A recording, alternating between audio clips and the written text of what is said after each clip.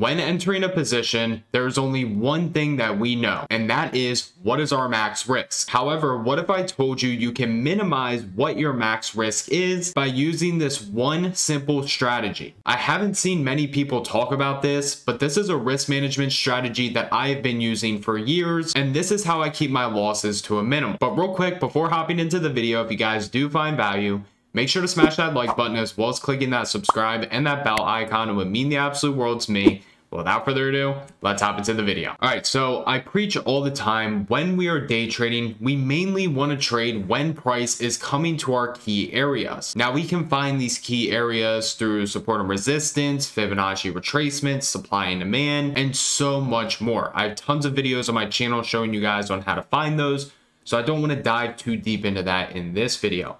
However, the main thing that we are actually going to be using is going to be the active trader on Thinkorswim. Now, personally, when I use my active trader, I have this chart pulled up right here of the contract that I am looking to trade. Now, I put this on a one minute candle.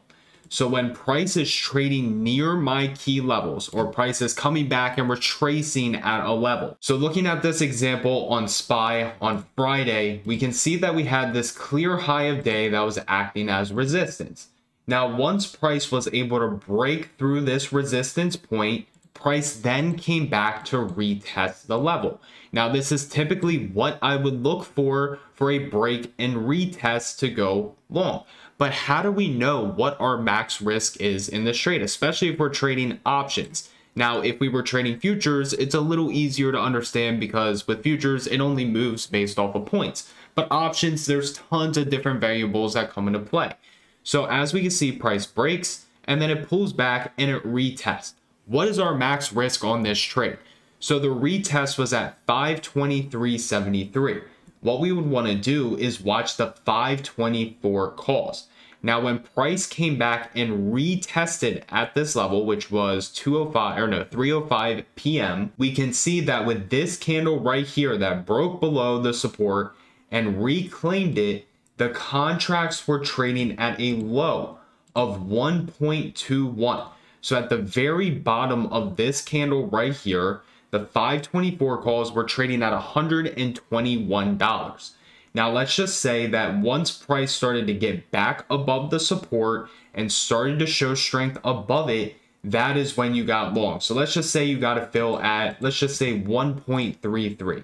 So you ended up entering this position at $133. Where is your invalidation point? Well, if price started to break below this low right here at 523.6, and started to show weakness, that would be the invalidation to tell you, okay, I should get out of this trade. So now piecing together the price action at that key level and understanding where the trade is invalid, well, if you entered at $133, you know that your stop loss is on the opposite side of this 1.21. Now you want to give it a little bit of wiggle room. So I would say give it like an extra five to $10. So your stop would be around 1 point, what, 1.16 to around like 1.11. So let's just give it an extra $10 for simple math. You end up entering the trade at $133 at the low of this candle right here. The contracts were trading at 121. You can come and say, okay, my max risk on this trade is going to be at 1.11. So at max, you are going to be risking $22 per contract. Now from here, what you are going to do is you need to size in a way that it makes sense for you to be able to lose $22 per contract. So if you're only comfortable with losing $22, then you only take one contract.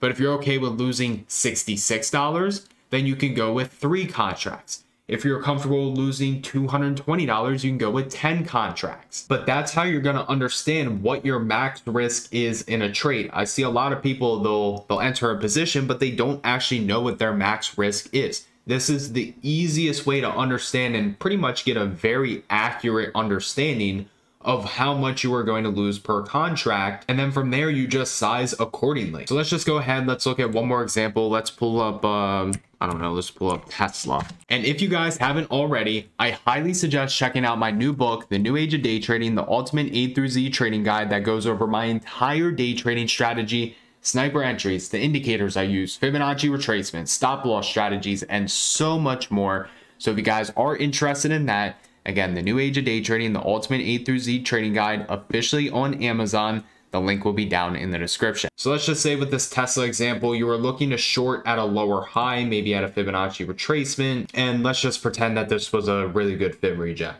So price was trading at 177.64. That was the area that you were looking for price to reject.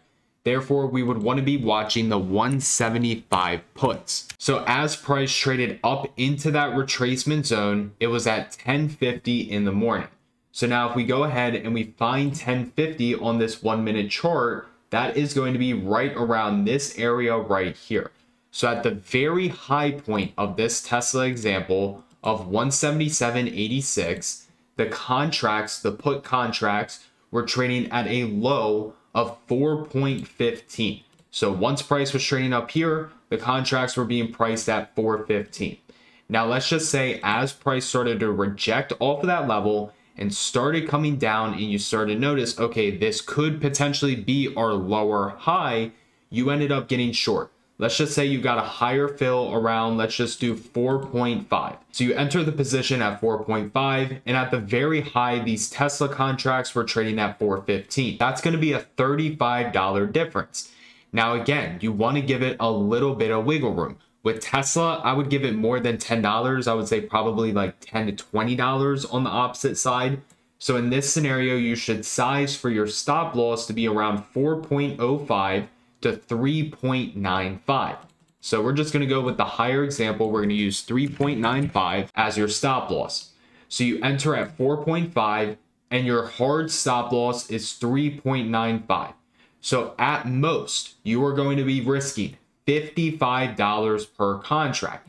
Now, again, this is going to depend on you as a trader. How much are you actually willing to risk? Are you only comfortable with 55?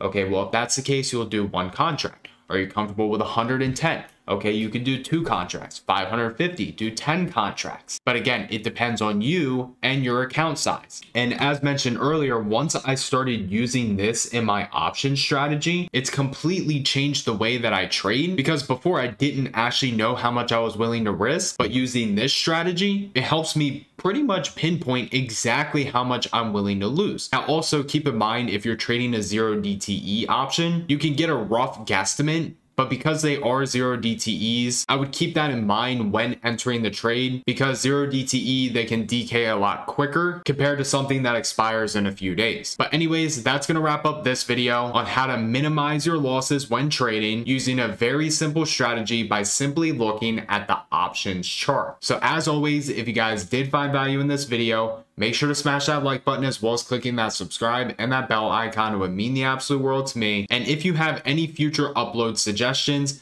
make sure to leave them down in the comments. Everybody have an amazing rest of your day, and I'll see you guys in the next video.